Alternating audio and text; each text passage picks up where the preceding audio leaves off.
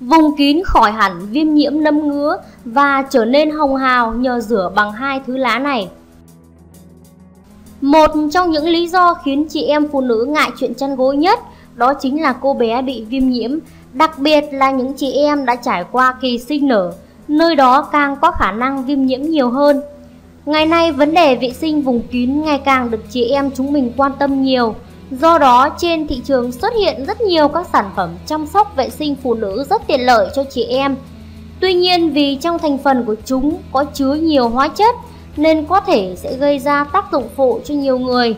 Vì vậy, rất nhiều chị em đã sử dụng các nguyên liệu đến từ thiên nhiên để bảo đảm an toàn. Trong đó, lá trà xanh và trầu không là hai loại lá được sử dụng nhiều nhất vì nó hiệu quả với cả phụ nữ sau sinh hay những phụ nữ chưa trải qua quá trình sinh nở.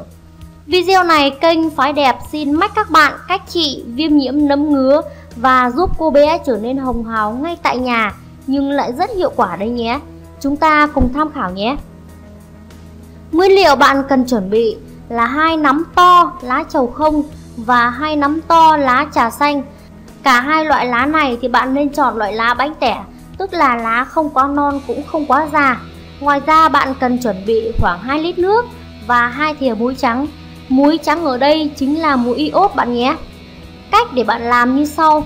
Lá trà xanh và lá trầu không sau khi mua về, bạn đem rửa thật sạch với nước Rửa xong thì bạn nên ngâm với nước muối loãng khoảng 10 đến 15 phút rồi vớt ra và vò nát hai lá này. Bạn nhớ là phải vò thật nát hai loại lá này ra để khi chúng ta đun với nước thì các chất có trong hai loại lá này có thể dễ dàng ngấm ra ngoài nước. Như vậy thì hiệu quả chữa trị sẽ đạt cao nhất. Sau khi bạn vò rồi thì bạn đun sôi nước đã chuẩn bị.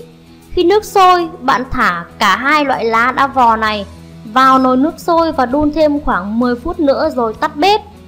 Tắt bếp rồi, bạn hãy cho luôn hai thìa muối đã chuẩn bị vào nồi nước vừa đun và đậy kín nắp trong khoảng 3 phút nữa để cho các chất ở trong lá tiếp tục ngấm hết ra nước. Bạn lấy một chiếc chậu mà bạn có thể ngồi vừa và rót nước lá vừa đun vào trong chậu. Bạn cởi quần lót, rửa sơ qua vùng kín với nước sạch và ngồi xổm trên chiếc chậu đó trong khoảng 10 phút. Bạn biết không, hơi nóng bốc lên từ chậu nước lá này sẽ giúp bạn vệ sinh và diệt khuẩn vùng kín cực kỳ hiệu quả đây nhé. Khi hơi nước nóng đã hết, bạn hãy pha thêm ít nước lạnh để dung dịch nước này có nhiệt độ vừa phải và lúc này bạn hãy dùng nước này để vệ sinh vùng kín. Sử dụng phương pháp này hai lần mỗi tuần, vùng kín của bạn sẽ trở nên hồng hào và thơm tho Đặc biệt là nó sẽ giúp bạn điều trị rất hiệu quả các bệnh phụ nữ như viêm nhiễm, nấm ngứa. Đặc biệt là phương pháp này sẽ giúp chị em phụ nữ sau sinh phục hồi rất nhanh chóng. Tuy nhiên khi bạn xông hơi vùng kín bằng lá này, bạn cũng cần lưu ý một chút xíu nhé. Bạn chỉ sử dụng những loại lá trầu và lá trà xanh không bị sâu bệnh. Bên cạnh đó bạn nên thử nước trước khi bạn xông để đảm bảo nhiệt độ không quá nóng vì quá nóng có thể sẽ gây bỏng da.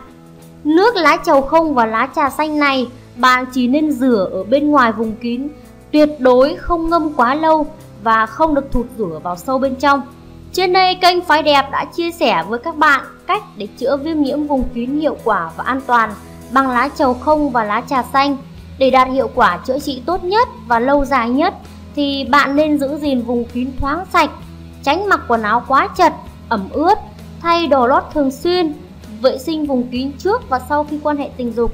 Chúc các bạn thành công. Cảm ơn các bạn đã theo dõi video của chúng tôi. Đừng quên đăng ký kênh để được cập nhật các video mới nhất bạn nhé. Xin chào và hẹn gặp lại các bạn ở các video sau.